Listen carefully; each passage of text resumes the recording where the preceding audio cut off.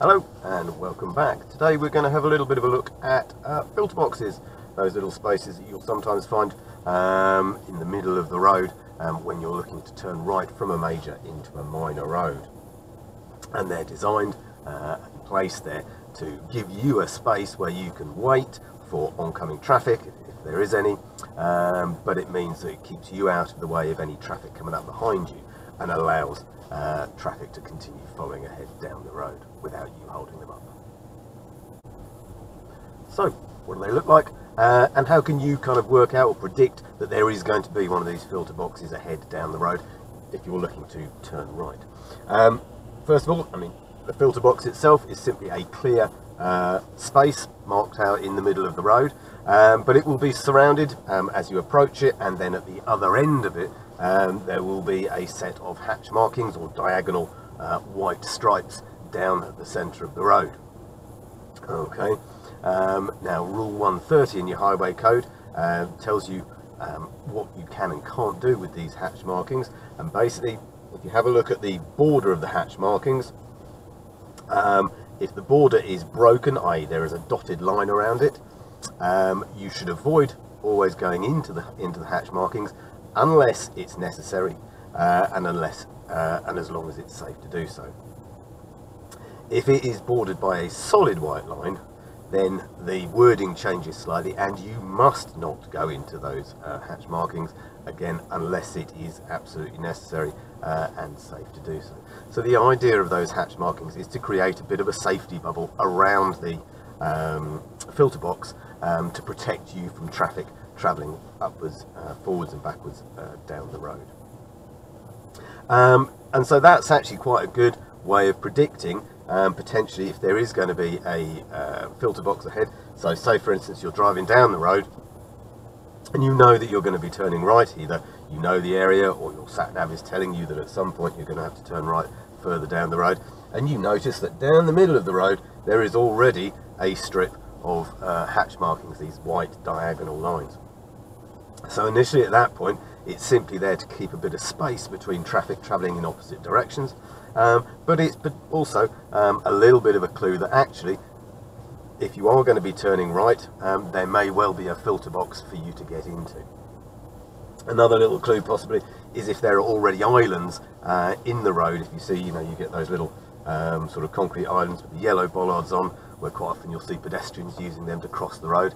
Um, that quite often will suggest that there may be a uh, filter box coming up ahead. What sort of roads are you likely to find filter boxes in? Well, first of all, the road itself needs to be wide enough to be able to accommodate um, the filter box in the middle of the road. Um, so there should, should be wide enough, obviously, so you can have traffic travelling in one direction, a filter box in the middle, and traffic travelling in an opposite direction. Um, so first of all, you know, have a look and see if the road is, itself is going to be wide enough but also they tend to be those kind of main arteries into and out of towns where um, there's quite a lot of traffic flowing because the idea of the filter box is simply uh, to keep you out of the way of traffic that is travelling ahead so that you don't hold them up. Um, so particularly on those busy routes um, they will uh, chances are there's going to be filter boxes just so it, keep, it maintains the traffic flow if it's generally a, a, a quieter road, um, then you may well find that it's just a normal right turn without any filter boxes. Our approach to uh, filter boxes is essentially going to be um, the same as we would approach any other right-hand turn. However, because we've got the filter box, we need to be a little bit more precise about when we change into second gear. Uh, and I would always recommend that you change to second gear before you arrive at the filter box because at that point, once you arrive at the filter box, um, you will need to have both hands on the steering wheel because you are going to have to steer really quite firmly in order to get your car into the box and then straighten up again. And you don't want to be fiddling around with gear changes as you're doing that. So just make sure that as you approach, you do your usual routine of checking your mirrors, signalling, slowing your car down and aiming to get into second gear before you get into, or before you arrive at the filter box the point at which you steer across into the box um, can vary sometimes. And, and, this is partly down to the fact that um, filter boxes don't come in a single standard size. Some will be quite long and give you plenty of space in order to get into the box, and others will be literally no more than a car's length, uh, which actually makes it quite difficult for you to maneuver your car into that space in time.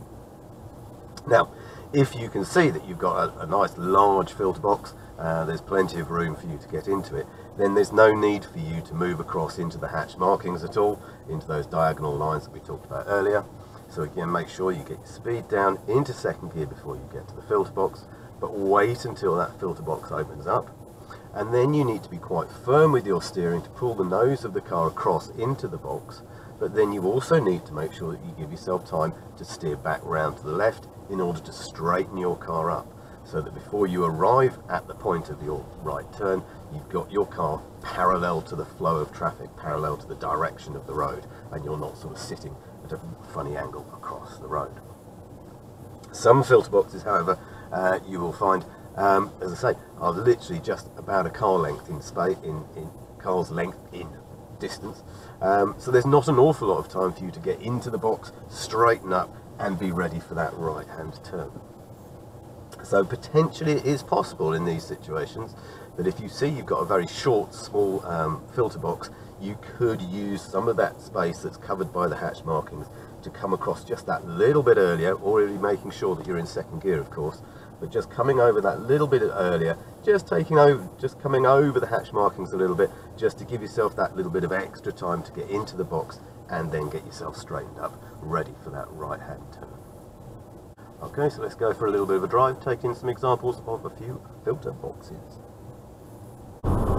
Okay, so travelling down this road I can already see uh, it's quite a wide road and down the middle here we've got islands. We've already clearly got marked out that uh, little strip of hatch markings, those diagonal lines. So straight away that makes me start to think if I need to turn right further down here potentially I'm going to be looking out for a filter box in order to move into that. So we're going to take the second turn on the right, first is here, second is just coming up over the brow of the hill. I'm going to start my routine signal, bringing that speed down, looking ahead. I can see the filter box just opening up. I'm going to go into second gear nice and early before the box, wait for the hatch markings to clear, and then come sharply across, straighten up so I don't get into the way of the bus. Looking ahead, it's nice and clear for me to go. Continue round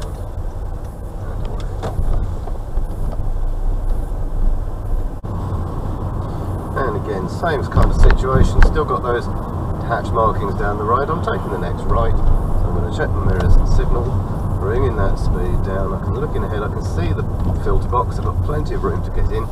Don't need to use the hatch markings so I'm across I'm straightening up again. Again so I'm not in the way of oncoming traffic. Still signalling right. Now it's clear. I'm just going to take this first left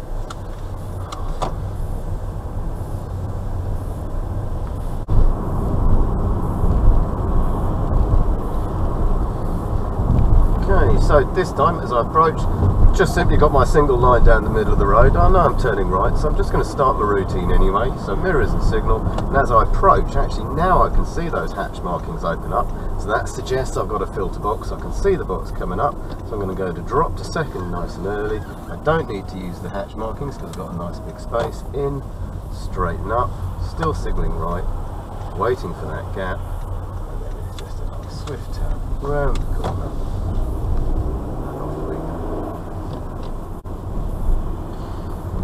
Okay, so I'm going to be taking the next road on the right, just up ahead. I can see those hatch markings just opening up in the middle, so the mirrors a signal. But actually I can see there's not a very large space. So I'm going to drop into second. This time I'm going to just come over slightly early into those hatch markings, signal on, there's my little filter box, around the corner.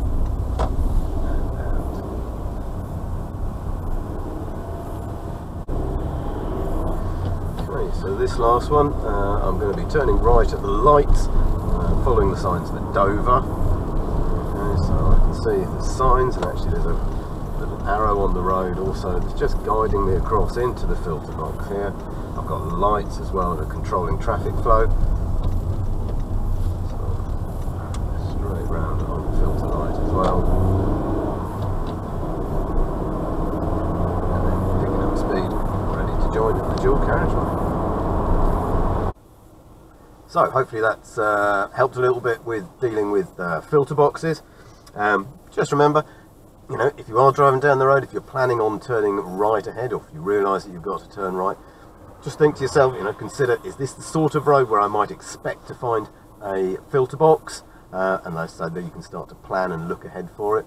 But also remember to look out for any clues, such as those hatch markings, diagonal lines down the middle of the road, islands, possibly some road signs or arrows on the road guiding you across towards the centre of the road. There. But essentially, treat them the same as you would do for any other ordinary right turn from a major to a minor, but just remember try to make sure you get yourself into second gear before you get to the filter box so that you can focus on your steering, getting yourself into the space and then straightened up again uh, before you make the turn.